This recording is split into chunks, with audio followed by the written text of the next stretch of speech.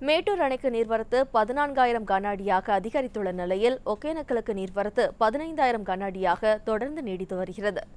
கர்நாடக மாநிலத்தில் உள்ள கிருஷ்ணராஜசாகர் மற்றும் கபினி ஆகிய இரு அணைகளிலிருந்து வினாடிக்கு பதினைந்தாயிரம் கனஅடி உபரி நீர் தமிழகத்திற்கு வெளியேற்றப்பட்டு வருகிறது.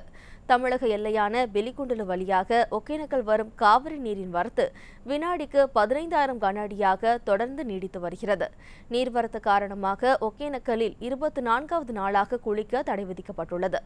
அதே சமயம் நிபந்தனைகளுடன் பரிசுகளை இயக்க அனுமதி அளிக்கப்பட்டுள்ளது. பரிசல்கள் இயக்கப்படுவதால் சுற்றுலா பயணிகள் மகிழ்ச்சி அடைந்துள்ளனர் இந்த நிலையில் இன்று காலை நிலவரப்படி மேட்டூர் அணை நீர்மட்டம் ஒன்பதாவது நாட்களாக நூற்றி பதினேழு அடியாக நீடித்து வருகிறது.